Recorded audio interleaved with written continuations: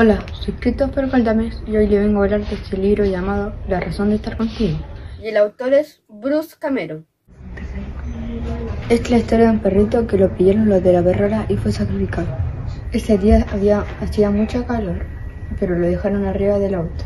Y el perro se estaba muriendo de calor. Y además tenía mucha sed y una mamá con su hijo lo rescataron. Después reencarnó en otro perrito y unos hombres lo quisieron adoptar. Y ahí comenzó la razón de estar contigo. El niño se llamaba Ethan y quería un, perro, y convenció a su mamá y a su padre de tenerlo. Lo bautizaron como Bailey y vivieron una serie de aventuras.